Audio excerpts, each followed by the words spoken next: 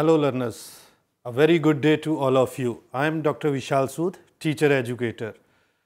In this unit, you have studied about different programs launched for the achievement of the goal of universal elementary education.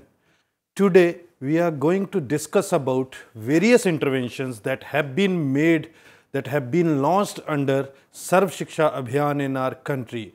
And these interventions are related to the schools and the teachers. So, our main focus on today's discussion will remain on the points as you can see on the screen that the main orientation of today's lecture, today's discussion will be SSA interventions in school system, the multifarious role of the teachers, the role of teachers outlined by the SSA, the professional development of teachers and professional development of teachers in school environment. How the professional development of teachers can take place in the school environment, how school environment can contribute towards the professional development, professional upgradation of the teachers. So, today we will discuss about these points. So, first of all, you can see on the screen that what interventions have been launched under SSA in our country.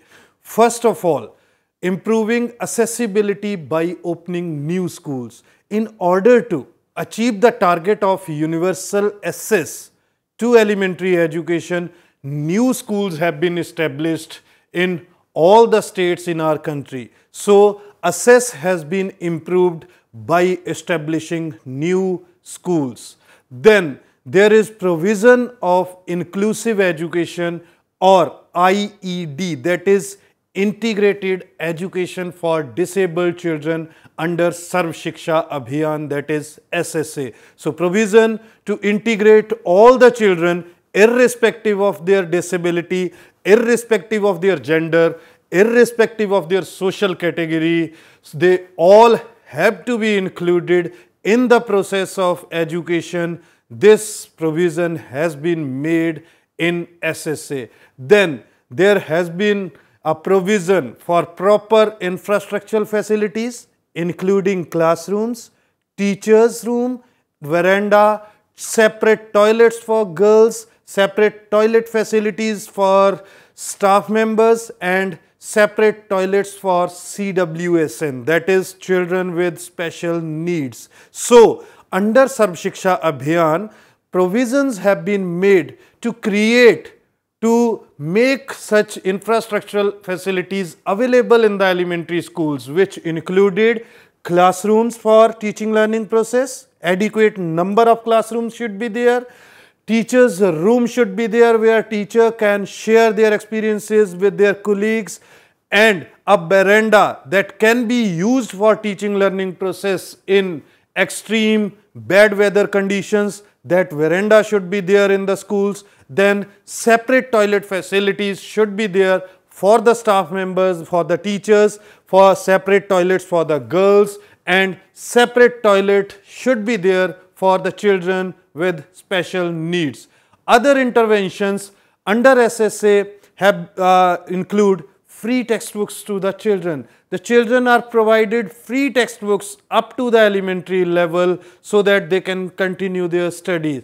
Then there is provision of teaching learning material TLM or teaching learning equipments in order to improve the quality of elementary education in order to improve the quality of curriculum transaction or in very specific words in order to improve the uh, in order to improve the classroom teaching learning process the provision has been made there under SSA for development and procurement of teaching learning material as well as teaching learning equipments.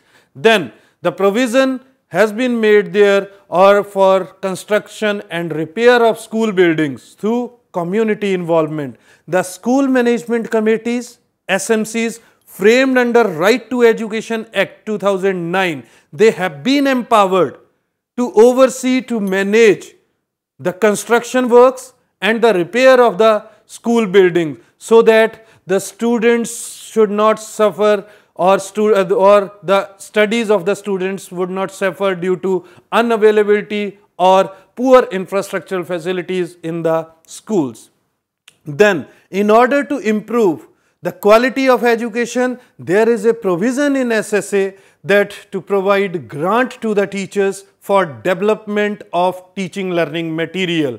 For, improvi for improvised teaching learning apparatus, the teachers are provided grant at the rate of rupees 500 per year so that they can use different type of teaching learning material, teaching learning equipments or any improvised teaching material for in their teaching process. Then SSA has also a provision of minimum required teachers in every school. That means every school must have certain minimum number of teachers so that the studies of the students would not get suffered on account of shortage of teachers. So these are the provisions which have been made under SSA in our country in order to improve the quality as well as the quantity of elementary education and achieve the target of universal elementary education. Now, in order to uh, make these interventions successful, a teacher has to play different roles. As you can see on the screen that the teachers have to play different roles, different multiple roles, multifarious roles.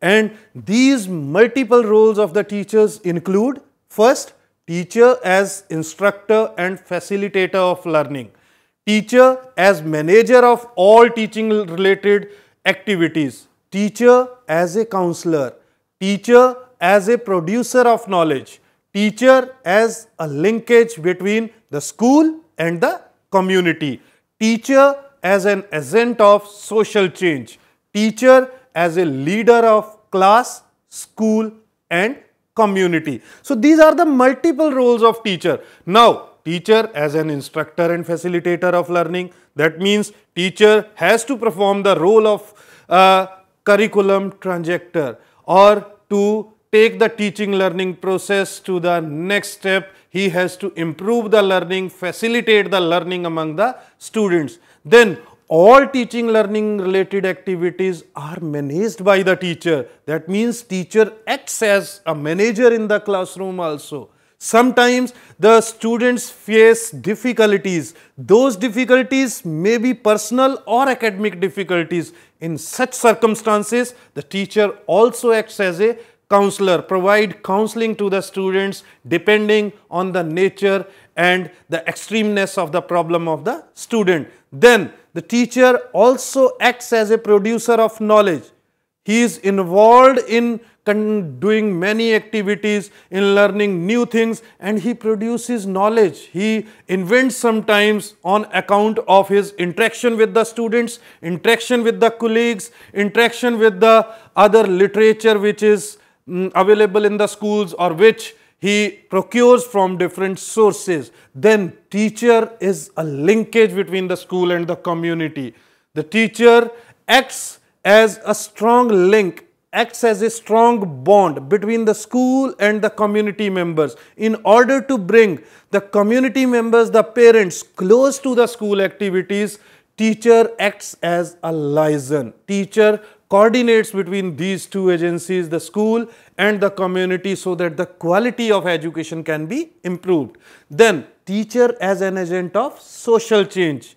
In order to improve the awareness among the local masses, the local community members, in order to make the children aware about new inventions, new knowledge and about the old customs that they are not Uh, more useful right now, the teacher acts as an agent of social change and bringing social awareness among the children which they carry forward to their family members. Then the teacher acts as a leader of class, school and community. He leads the class, he leads the school, he leads the community to the path of the development. So these are the multifarious roles of the teacher, teacher which he plays in different situations. Now, what role has been outlined under SSA in respect of the teachers? What role has been assigned to the teachers under SSA? First, as you can see on the screen, the teacher under SSA has to play the role of a torch bearer to bring change in school system, to bring improvement in the school system. For school improvement, teacher eh, can be a, an only single cause which can bring change in school functioning. Then teacher has to support out of school children. That means the teacher's role under Sarv Shiksha Abhiyan is to bring back the out of school children to the school so that the target of universal elementary education could be achieved to the satisfactory extent. The teacher has to interact, has to meet with the community members, the parents who are not sending their uh, children to the schools. In such cases, the teacher acts as a support to those out of school children and their parents and try to bring them those children in the school campus. So, this is the role outlined under SSA for the teachers. Then another role of the teacher under SSA is to remove the disparities. Now, these disparities, what type of disparities are existing in our society? Gender disparity is there, social disparities are there, economic disparities are there. Now, the teacher's role is what? The SSA outlines that such type of disparities on the basis of sex, on the basis of religion, on the basis of economic status, on the basis of social caste, these disparities has to be removed if we wish to achieve the goal of universal elementary education. That means if we wish to enroll uh, universal enrollment of the children, then there is need to remove such disparities. All children, irrespective of their caste, irrespective of the sex, irrespective of the religion, or irrespective of their economic status, must be brought, must be enrolled in the schools so these disparities needs to be reduced and these disparities are to be reduced by the teacher.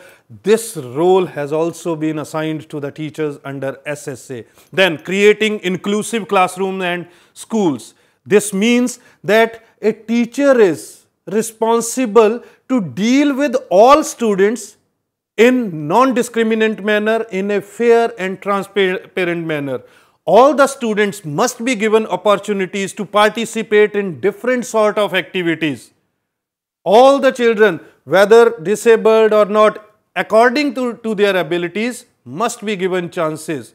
And no student should be discriminated on account of any reason, one or the other. So, it's teacher's responsibility under SSA to create inclusive classroom where there are chances or equal opportunities for all the children to develop in a proper manner.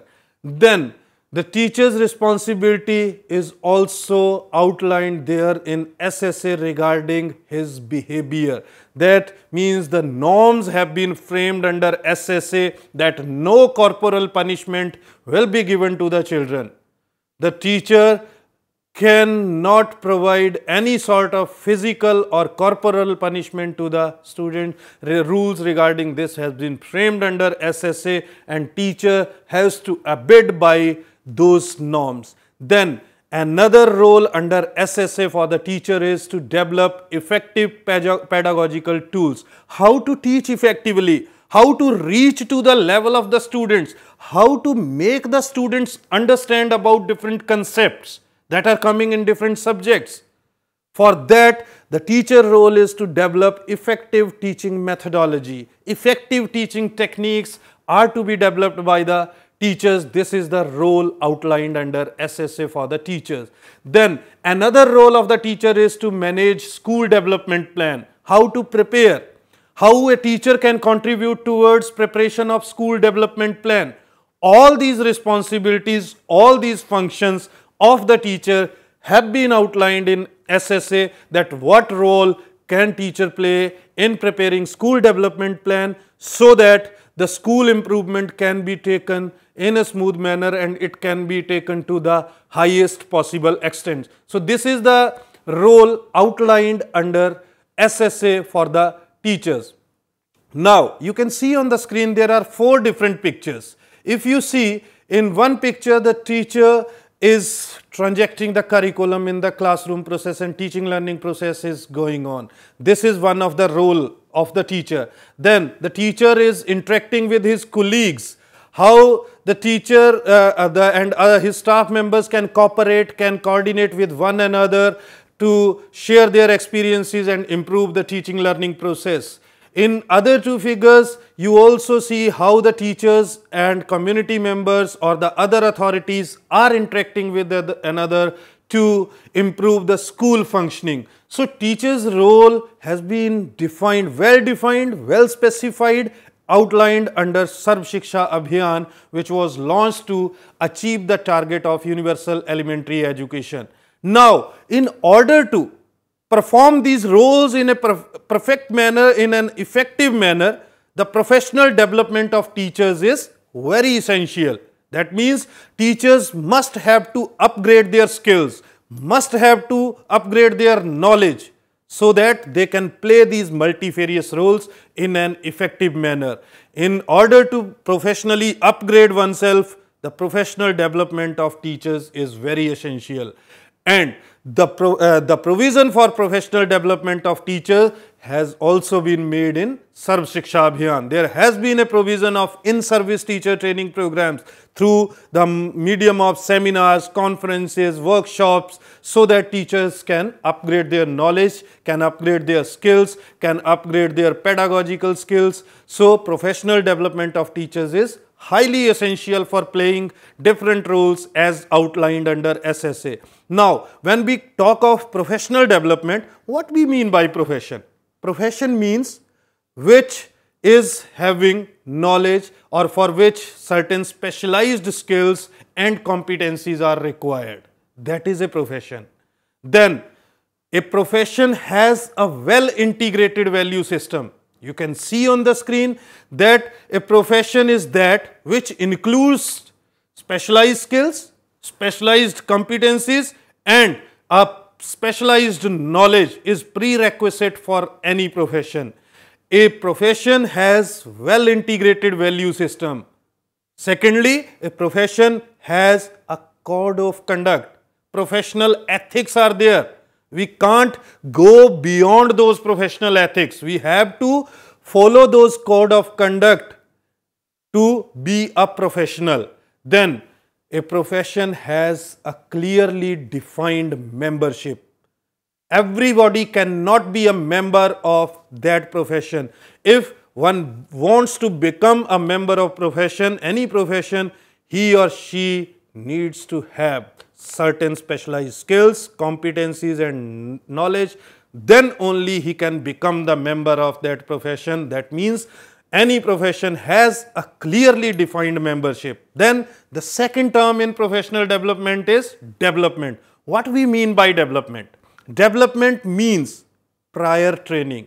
That means before entering into a particular profession, there must be a prior training received by that particular individual.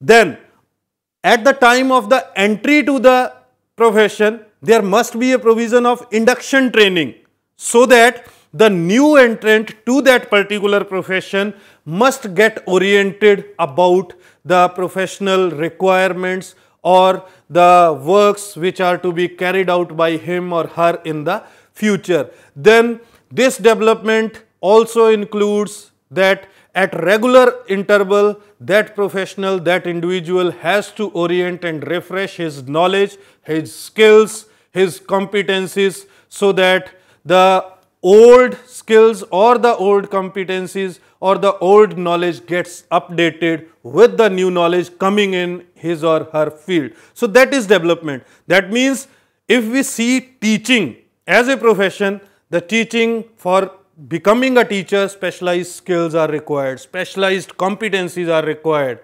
Teaching has well integrated value system. Teaching has clearly defined membership. If one wants to become a member of teaching profession or uh, want to become a teacher, then he or she has to undergo training, prior training as well as in-service training. And there is professional code of conduct, professional ethics for becoming a teacher. So, professional development of teachers is very essential and for the provision for professional development of teachers in service teacher training has been there. Now, there are different ways of professional development of teachers and teachers de professional development is comprehensive in nature means there is not only any single way of teachers professional development in order to perform a number of functions, multifunctions as we have already discussed about those functions, in order to perform those functions in an effective manner, in an appropriate manner, the teacher's professional development is required and this professional de development of the teachers is not only sing through single means but rather through different means. That means a teacher has to develop uh, his uh, himself, his skills or his uh, knowledge or competencies through different ways and means. Now, these different means or these different ways can be as you can see on the screen. First, this, that is in service formal training. That means there is there should be provision of in service formal training to the teachers. Then learning from colleagues. Second way of professional development of teachers is learning from the colleagues. Then the learning from the community members. Then another way of the professional development of teachers, professional upgradation of teachers is learning from the students. And last and the foremost way of professional development of teachers is self-directed learning. Now, we will discuss about these five ways through which the professional upgradation of teachers, professional updation of teachers can be achieved. And under SSA, for this, the in-service formal training provision has been made. There is a provision of compulsory training to all the teachers at the elementary level to achieve the target of universalization of elementary education in qualitative terms. To improve the quality of elementary education, the teachers are provided training through the seminars, through the conferences, through different workshops so that they can upgrade their knowledge, so that they can orient about different new pedagogical techniques, new technology that can be implemented, that can be utilized in the teaching learning process to improve the quality of education. So, the provision for in-service training has been made under SSA to upgrade the skills, to upgrade the competencies and to upgrade the knowledge of the teachers. So, this is a formal mechanism for professional development of teachers. Now, the question arises Apart from this, we cannot rely on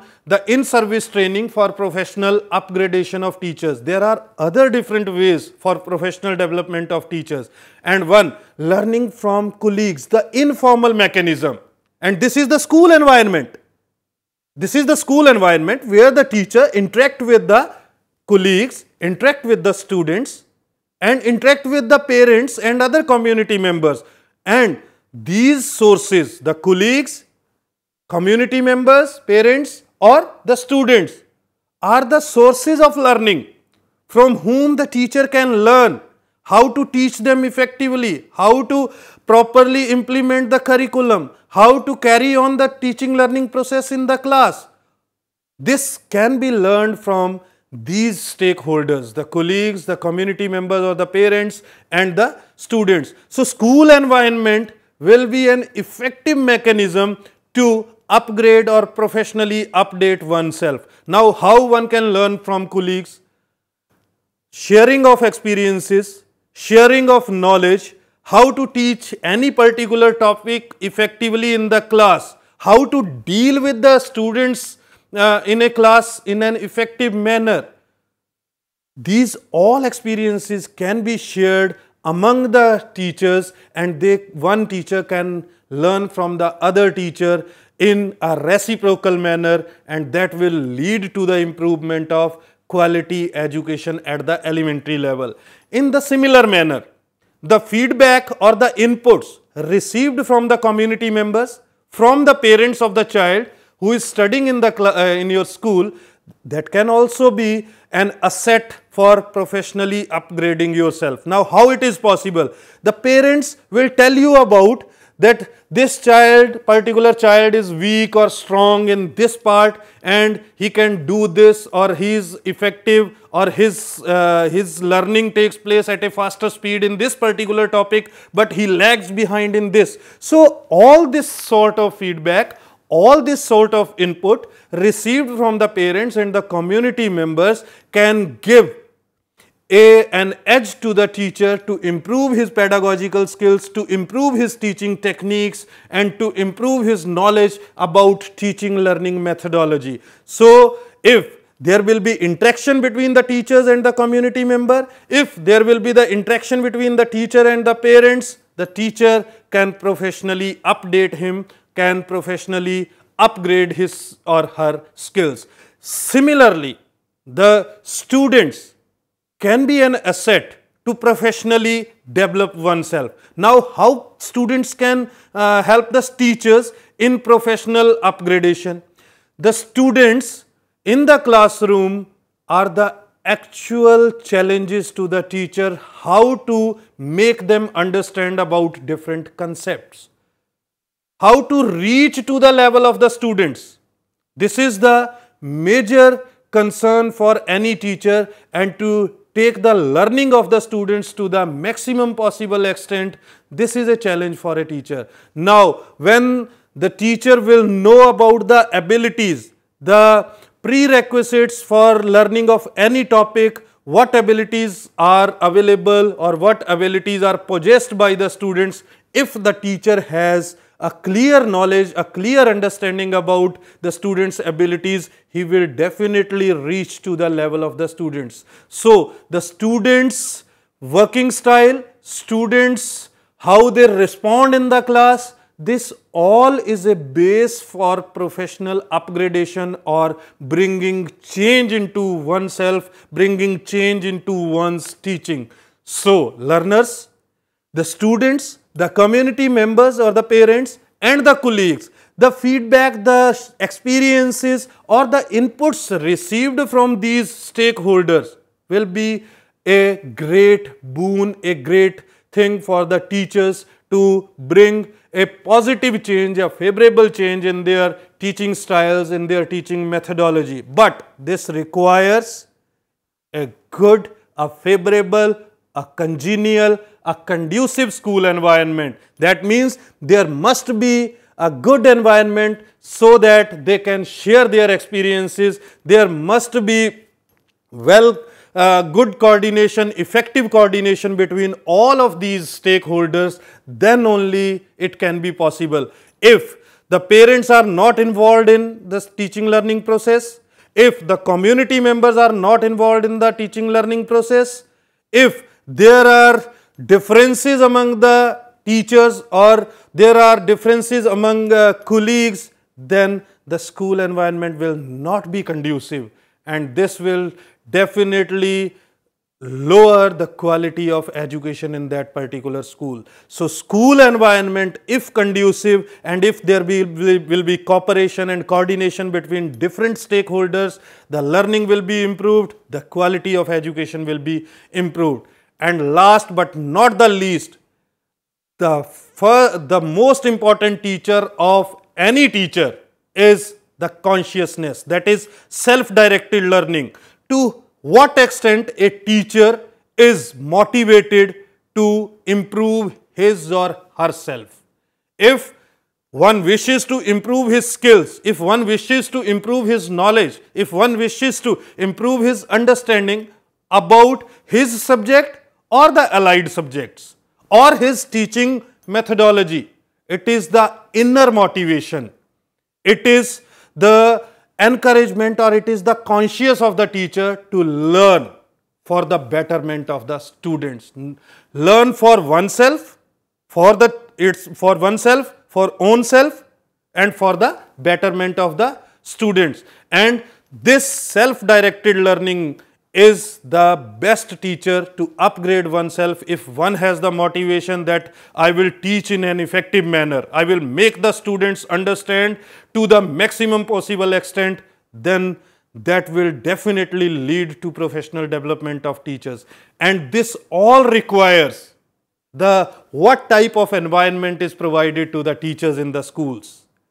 So it is the responsibility of the school head to provide, to create such environment in the school where the teachers feel free, where the teachers are given opportunities to learn more and more about his or her field, to learn more and more about different uh, allied subjects so that such knowledge, such skills can be further transacted to the students. So school environment is a must for professional development of teachers and for improving this school environment, there has been provision for uh, improvement under SSA. For this, uh, the provisions have been made to create additional infrastructural facilities, to provide different type of academic support to the teachers, to provide TLM grant to the teachers. So, such type of provisions have been made in SSA so that the teachers uh, can be professionally developed and a congenial environment in the schools can be created and they can play different roles in an effective manner to achieve the uh, aim of quality education and universal elementary education. Now, so students today we learned about different SSA interventions in the school system, in school context and in teacher context. What interventions have been made in SSA to improve the school system. Then we also learned about the multifarious roles of the teacher. What role has been outlined under SSA for the teacher was also discussed by us. Then we studied about the meaning of professional development, what we mean by professional development. That means to upgrade our knowledge, to upgrade our skills. And lastly, we discussed about how school environment can lead to professional development of teachers. If the environment of the school will be congenial, the development of the teachers in terms of their professional skills, knowledge and competencies will be in a much better manner. So I hope learners that you all have understood about these aspects of SSA interventions and professional development of teachers through the school environment. I hope you all have understood. Thank you. Have a good day.